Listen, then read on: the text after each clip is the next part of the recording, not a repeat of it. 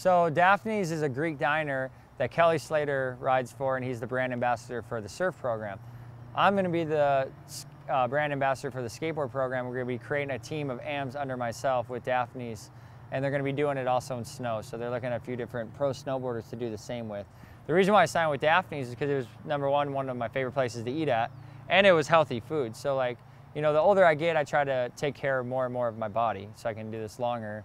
And eating Daphne's is just, you know, it's a lifestyle change of eating healthier food. So what you put into your body is pretty much what you're going to get out of your body. And it was a great opportunity. And putting myself next to Kelly Slater was like, wow, like, I, you know, he's a, a, a legend, you know, so it was, it was pretty cool. Not in skateboarding, but in surfing, he's a big deal. So it was kind of cool that they picked me to be a brand ambassador as well for the skate world. So I was super stoked and it's great food and you know, they're going to be expanding across the country and they're driven more towards, uh, they're driven more towards action sports now.